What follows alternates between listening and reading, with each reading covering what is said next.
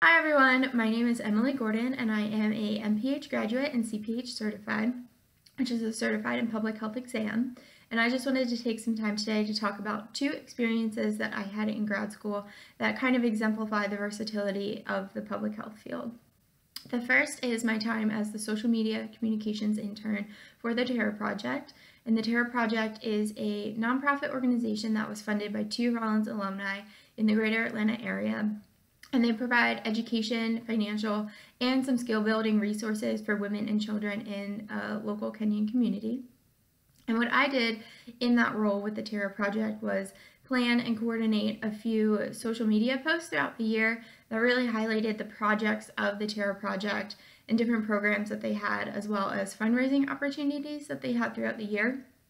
So I worked with Facebook and Twitter primarily, but also had the opportunity to write a blog about World Yoga Day, in which Terra Project was the beneficiary of any fundraising efforts that came out of that day. So it was really important not only that our content was correct, but also that we had a following that would really help us promote the event or any of the content that we put out. Um, and for me, it was really important to see that and have that experience because I saw how important social media was for promoting and sharing public health education, especially in this content context because a lot of the fundraising efforts of the Terra Project are really grassroots led through the Atlanta community and individuals that had a relationship with the Terra Project already. So it was really exciting to see how that social media influence could grow and also promote our project that we were working on. The second experience that I had was working with health organizations of Latin America. So in that role, I was the community outreach coordinator and I got to work with a bunch of different organizations in the greater Atlanta area, all striving to work in Latino health um, and promoting Latino health. And one organization I worked with was El Refugio Ministry, which is a outreach organization for individuals who are in the Stewart Detainment Detention Center, which is the largest detention center for immigration in the southeast United States. Um, and what I did working for them was really provide them with a bunch of connections and liaisons throughout the greater Atlanta area. So I helped get them students at Rollins and other organizations at Emory, but also other schools at Emory. Um, we actually had a very large influx of undergraduate students who were interested in helping out. So I helped them stay in connection with the undergraduate students and really set up different times where they could go down to Stewart Detention Center and either talk to detainees and find out what they need and what kind of help they would need while they're in the detention center, or just help around the house um, and get things prepared for any visitors that were coming for the weekend.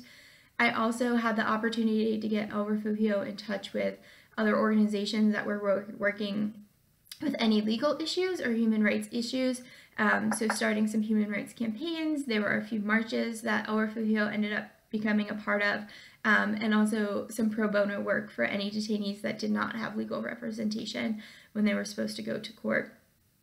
Um, so in that role, it was really exciting for me to see how many different organizations and individuals in the Atlanta area were really striving to help with the immigration issues and some of the human rights issues that were going on in Atlanta and really be a voice for these detainees that may not have had any resource or any contact with you, um, other human individuals until they were deported back to their home country or got to leave Stewart in another fashion. Um, and really, both of those experiences, I think, define how interdisciplinary public health is. Um, because you can have people in all kinds of different fields working for the same mission. And in this case, they were individuals in communications and individuals in human rights and individuals and legal resources. Um, and in the end, they all came together for similar motives, whether that be for international education, which was with the Terra Project, or human rights and immigration, which is what I did with El Refugio. But combined, I think both experiences were really influential for me for what I do in the public health field now. And I think as a student, it really shed, shed some light on how much is going on in public health, even if it is not labeled public health. Um, but you can find more about both organizations I worked for in the description, as well as thisispublichealth.org, which is a great resource for learning more about public health and what people are doing in the public health world. And if you are interested in graduate school, you can head to aspph.org and search for some schools and programs that might focus or have programs in your area of study.